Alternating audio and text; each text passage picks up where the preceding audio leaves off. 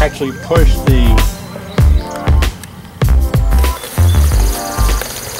and there they go. Hey everybody, David Burns here and it has been a very rainy rainy few days here and I've been having uh, to install a few packages to uh, expand my yard a little bit and I'm doing it in the rain. Maybe you had to install your package in the rain too. But uh, I've been shaking them in there like the traditional way of doing it and several people have asked me hey have you ever heard of being able just to put your package in there take the top off the little candy can and move the queen out and just let them come out of the box without having to shake them. And yes, I did try that years ago, and as a result, they never went out of my package. They all stayed in there and got too cold at night, and the queen that was a little bit over on some frames eventually uh, that night died because they deserted her. And so I never have been fond of that indirect release method, as it's called. But it's warmer here, and I'm going to do it just for I guess, giggles, I guess, because a lot of people have been bringing it up. It's not a new thing. A lot of people have acted like it's a new thing as of 2017. Not at all. It goes way, way, way, way back. So it's just getting some, it's getting some traction, some airtime, some circulation on the uh, media, but um, no, it's not a new thing, the indirect release method. It's when you move four or five frames out of the way, maybe six, and you actually put your package in the deep high box, take the can out, move the queen over, and expect them all to move out overnight. Let's give it a try. And we'll make some videos over the next few days on the progress and how well this works. Okay, so I got my box ready, kind of set up. Now I am using some drawn comb, and that certainly is an advantage. To be, to be fair, I guess for new beginners that do not have drawn comb, I should put undrawn comb in there. But um, I'm going to leave it like it is with some partially drawn comb, at least on some a few sides. So let me start uh, doing the method here so you can see how it works. Okay, let's, let's try this position right here. Perfect.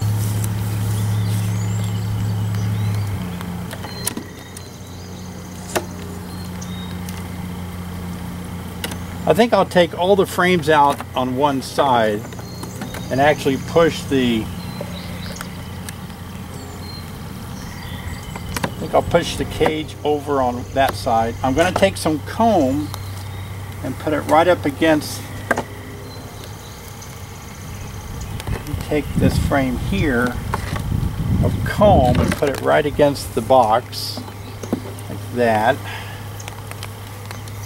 Now using my queen, I'm going to take the queen out and strategically place her in a specific spot. Hang on. Okay, it's starting to rain more.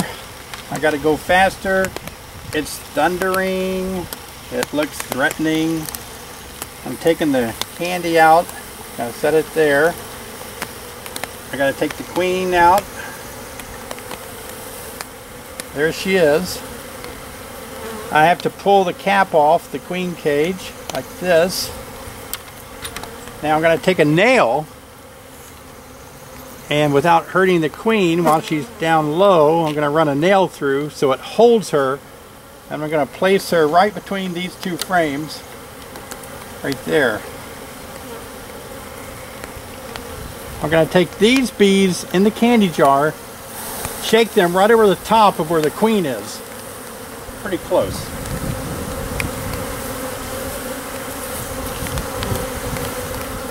Now I'm going to put the top on because it's starting to rain. And this is always my concern. How do these bees ever come out? But we'll see what happens. Sunshine finally after days of rain. Hey, remember the hive that we uh, package we installed yesterday?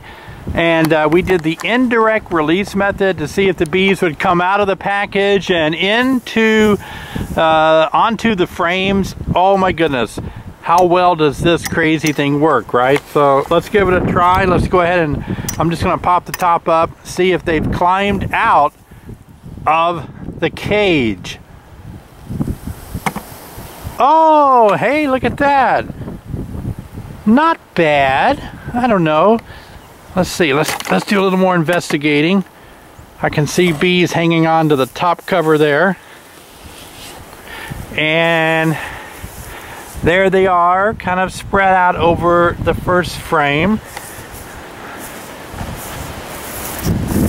Not many of them down here. I mean, there are some down here. Look at this. I'll just pick them up with my fingers and put them over there. but there's a few more in there. Oh, there's a lot actually. Well, just got to leave those bees. Poor bees. I hate to leave them in that package. Tonight it's going to get cold. Everybody over here, the other side, please. There we go. Can't get them all out. They're still, see them down in there? They're still up underneath that lip. Doggone it. So, okay, I don't, I don't like that because I like them all to be out of the cage and they're not.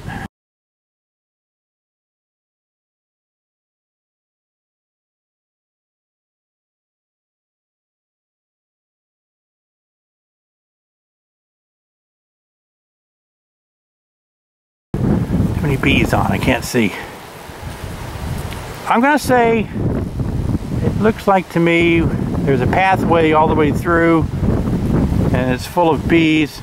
We're going to say the queen's out. It's too cold for me to continue to keep this hive open too much longer. Um, get off my fingers, everybody. Back in the hive. Bees on the hand. Hiya! Okay, bees off of the hand. Well, unfortunately, it, it did work better than I thought, but I'm telling you, there are just gobs of bees under here. Let me see if I can, ow, just got stung in the finger. It was my fault. Look at that. I pushed against her and she just nailed my hand. Doggone it.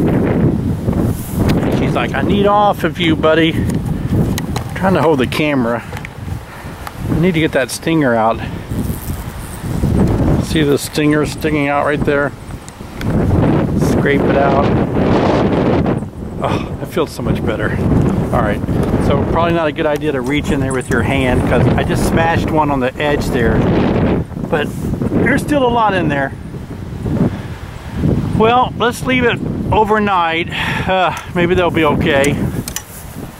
Okay, so I'm, whoops, as you can see, I'm not crazy about the indirect release method because not all of the beads came out and it's going to be really cold tonight and I got stung. Boo. Hey everybody, David Burns here. Uh, really rainy weekend. Not too bad on package P pickup day on Saturday. We did pretty good dodging a lot of the rain, but boy, has it rained a lot today on Sunday. I know a lot of you in the Midwest have experienced that same torrential downpour, it's really delayed the bees and doing stuff. They've been soaked for uh, a couple of three days now. Colder at nights too. I made my splits. I always say never make a split before May the 1st here in Illinois. And I made them uh, before that. And now I'm paying the price for it. Having to, starting to feed some of those splits because the weather just isn't cooperating. A little cool, a little too cool at night for new splits and not much uh, ability for them to go bring nectar in during the day because uh, it's rainy during the day and they can't go get uh, can't forage and get pollen and nectar. But today what I'm going to be doing, I'm uh, kind of nursing along some queen and these queens, uh, I need to give them a fresh round of some nurse bees out of a big hive so the nurse bees can take care of the queen. So you can see here I got my box of queens that I've got to give some nurse bees to, some more nurse bees and uh, they don't have a good source of nurse bees right now. They've got enough to take care of them, but they need another dose of them. And so I'm just going to go out and find a few frames of nurse bees and dump them on these queens. So I got to open up a big hive on a rainy day and uh, take out a frame of brood, make sure I don't get the queen, and that's what we're going to do now. Okay, so I found a pretty good uh, frame of nurse bees. I can see larvae that they're feeding so I know there's nurse bees there. And so what I'm going to be doing is just making sure I don't uh, brush the queen off and I'm looking good. And I don't see the queen in there anywhere. So now I'm just going to go ahead and going to go ahead and place all of these nurse bees in with this box of queens. Let's get to work on that. And it's raining, so I've got a, I've got like a hair net that's over my camera to keep my camera dry. It's a little bit harder to work my camera in the rain. So I'm going to lift off the cover and uh, some of the, any of the bees that are kind of older foraging bees, they'll be out flying around. I'm going to take my brush and brush off these nurse bees. I don't want to shake the frame really hard because I feel like when I do, I dislodge a lot of the uh, larvae. So I'm just going to kind of brush the bees off onto these queens. And there they go. I'm going to get the other side too. That's going to be plenty for me. Now I'm going to put the top back on while they find out where the queens are. And this, they'll be able to feed my queen some royal jelly, some good food. And then back over here, the frame that I took out, I'm going to place back in the hive. I'm to put this hive all back together again. And some more nurse bees will come up from the bottom or from the edges and begin working that frame that I stole some of these nurse bees from.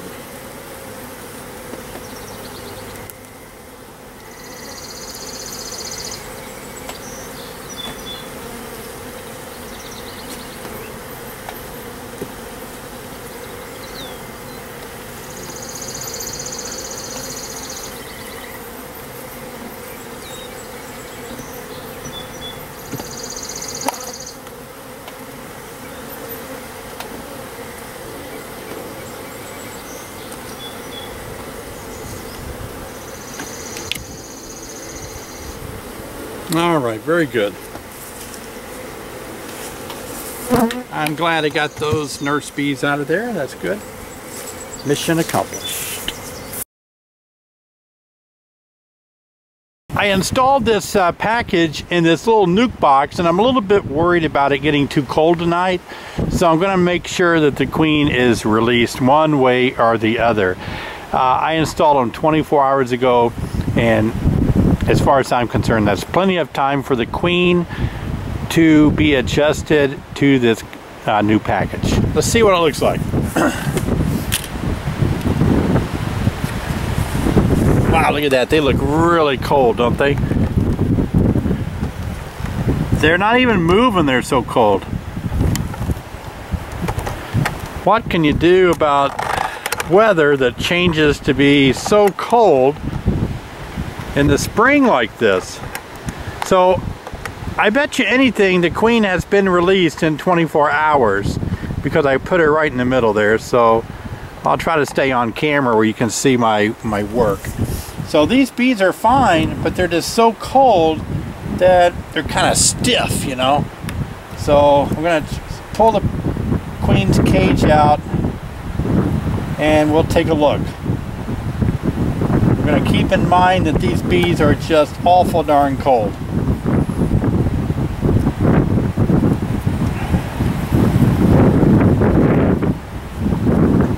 A lot of bees on the outside of her cage.